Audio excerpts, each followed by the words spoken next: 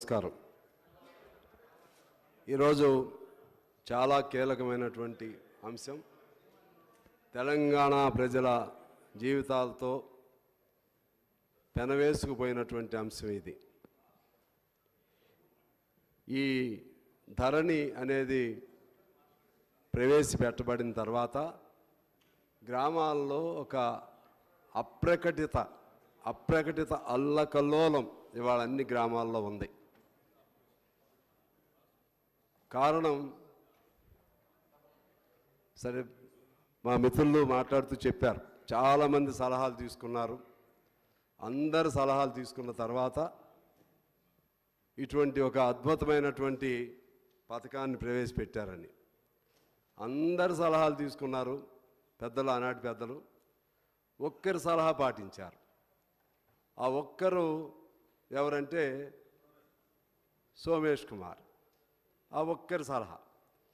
మరి అంత పెద్ద తెలివి కలిగిన మేధావిగా ఉన్నటువంటి కేసీఆర్ గారు ఎందుకు ఆ- అతని మాయలో పడ్డారో నాకైతే తెలవదు అధ్యక్ష. కానీ చాలా మాయలో పడ్డారు.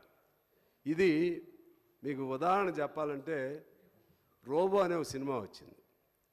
రోబో తయారు చేస్తాడు. ఆ తర్వాత ఆ రోబోని ఎలా డిఫ్యూజ్ చేయాలో తెలియదు చివరికి ఆ రోబో ఎవరిని తయారు చేశారో వాళ్ళనే వాళ్ళనే ముంచేస్తుంది. అదే పద్ధతిలో పూర్వం బ్రహ్మాస్త్రాలు లేదా ఇంకేవి ఉండే పురాణాల్లో. అస్త్రం వదలటమే తప్పితే మళ్ళీ వెనక్కి ఎలా తీసుకోవాలో తెలవదు. అలాగే భస్మాసురుడి హస్తం అంటారు. భస్మాసురుడు ఎవరిని కాదు. అది ఎవరుంటే వాళ్ళకి అప్లై అయ్యిద్ది. ఎవరి ఎవరి తల మీద పెట్టుకుంటే వాళ్ళు తప్పులు చేసిన వాళ్ళందరికీ తప్పులు చేసిన వాళ్ళందరికీ. అట్లా జరిగింది. ఈ ధరణికి సంబంధించి పెద్దలు కేసీఆర్ గారు చాలా ఆలోచన చేసి ఉంటారు. ఏదో మంచి చేయాలని అనుకుని ఉంటారు. కానీ అది భూమి ర్యాంగ్ అయింది. చివరికి ఇవాళ మొన్నటి ఎన్నికల్లో రిఫ్లెక్షన్. ప్రతి గ్రామంలో ఇంకా ఫర్దర్ రీజన్స్ ఉన్నప్పటికి కూడా ప్రధానమైనటువంటి కారణం ఆనాడు బీఆర్ఎస్ ఓడిపోవటానికి గ్రామాల్లో ఎందుకంటే అందరం అక్కడి నుంచి వచ్చిన వాళ్ళం కాబట్టి ప్రధానమైనటువంటి కారణం ధరణి అని చెప్పి నేను మీకు తెలియజేస్తా ఉన్నా అధ్యక్షుల.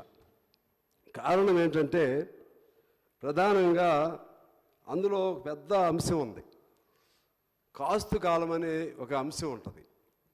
ఆ కాస్తు కాలం తీసివేయటం వలన ఆ కాస్తు కాలంలో అంటే సాదా బైనామాలతో ఆ పూర్వం జమీందారు జాగీర్దారులు దొరలు వాళ్ళు అమ్మినటువంటి భూములు కాగితాలు తెల్ల కాగితాలతో కొనుక్కున్న వాళ్ళ పేర్లు అందులో ఉండేవి. ఇవి తీసేయటం వలన మరలా పాత సిస్టమ్ వచ్చేసింది. పాత జాగీర్దారు వ్యవస్థ పాత జమీందారుల వ్యవస్థ పాత భూస్వాముల వ్యవస్థ వచ్చేసింది. ఇలా రావటం వలన రెండు రకాల నష్టం జరిగింది అధ్యక్ష. వాళ్ళకి రుణ సౌకర్యము లేదు కాస్తుదారుల పేర్లు లేవిక వాళ్ళకి రైతు బంధువు లేదు రైతు బీమా లేదు చనిపోతే. ఈ రైతు బంధువు ఎవరికి వెళ్ళిందయ్యా అంటే మరల జమీందారులకు వెళ్ళిపోయింది. ఇది వాస్తవం మీరు కావాలంటే ప్రతి ఊర్లో వెరిఫై చేసుకోండి.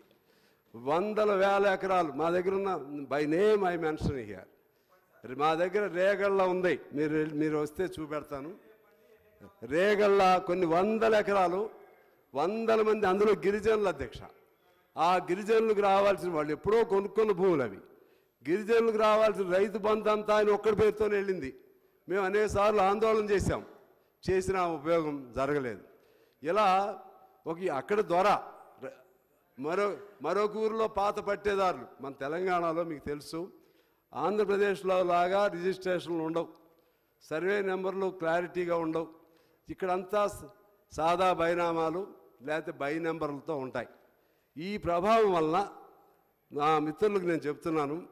అంటే మీరు తెలిసి చేశారని నేనేం అనుకోను. తెలిసి చేసినా తెలియక చేసినా సరే ప్రతి గ్రామంలో మీరు తొంభై మందికి మంచి చేసి ఉండొచ్చు. పది మందికి చెడు చేస్తే చాలు. ఆ పది మందే మిమ్మల్ని ఓడించడానికి కారకులయ్యారు. ఇందాక నేను చెప్పినటువంటి ఊళ్ళో అయితే పది మంది కాదు అధ్యక్ష ప్రతి ఊర్లో. అదే అందులో ఆ కాస్తు కాలంలో ట్రైబ్స్ ఉన్నారు నాన్ ట్రైబ్స్ ఉన్నారు ఎప్పుడో కొనుక్కున్న వాళ్ళు ఉన్నారు. ఆ విధంగా చాలా నష్టం దీనివలన జరిగింది. దీని ప్రధాన ఉద్దేశం ఏంటి అధ్యక్ష? ఆనాడు వీళ్ళు చెప్పింది స్లాట్ బుక్ చేసుకుంటే చాలు mutation registration at a time అయిపోయింది తొందరగా త్వరితగతిన అయిపోతుంది. అవినీతి ఉండదు. భూముల సర్వే మెంబర్లు డిస్ట డిస్టర్బెన్స్ ఉంటే అన్నీ సెట్ అయిపోతాయి. ఇక కొత్త కొత్తగా కొత్త రకం అంతా కూడా ఆన్లైన్తో ఆ పుస్తకం ధరనిది పెట్టుకుంటే చాలు అన్నీ స్వర్గమే అందులో కనపడుతుందని చెప్పి చెప్పారు అధ్యక్ష. కానీ జరిగింది ఏంటి? అన్నీ ఏది ఏ అవినీతి జరగకూడదని అన్నారో ఆ అవినీతి ఎప్పుడూ లేనంత అవినీతి జరిగింది అధ్యక్ష. ఎప్పుడు లేనంత అవినీతి. పెద్ద పెద్ద వాళ్ళందరూ కూడా దీన్ని అడ్డం పెట్టుకుని దీన్ని అడ్డం పెట్టుకుని ముఖ్యంగా హైదరాబాద్ నగరం జిల్లా కేంద్రాల్లో దీన్ని అడ్డం పెట్టుకుని అమాయకులు అయినటువంటి వాళ్ళని పక్కన నెట్టేసి అక్కడ ఉన్నటువంటి ఆ రిజిస్ట్రేషన్ చేసే వాళ్ళతో తను ఒక ఆధార్ కార్డు తీసుకుని వెళ్ళిపోయి ఈ భూమి తానుదే అని చెప్పి తనదే అని చెప్పి స్లాట్ బుక్ చేసుకుంటే వాళ్ళకు వచ్చేసినాయి. మీరు అందుకనే నేను మీ ద్వారా ప్రభుత్వాన్ని కోరుతా ఉన్నాను. ఖచ్చితంగా దీనిపైన విచారణ చేయాలి. విచారణ అంటే ఇది ఒక ప్రాంతమో ఒక చోటో ఒక జిల్లానో కాదు. ఇది అన్ని చోట్ల జరిగింది. ఎక్కడెక్కడ ఎవరి భూములు ఎక్కడికి పోయినాయి ఎంత భూములు పోయినాయో ఇది ఒక సమగ్ర విచారణ చేస్తే అప్పుడు ఇందులో కల్పిట్స్ ఎవరు ఎవరి భూములు ఎవరు తిన్నారు ఎంత అవినీతి జరిగింది. ఎందుకంటే ఆనాడు చెప్పారు రెండు లక్షల కోట్ల అవినీతి అని. అసలు ఎంత వాస్తవం?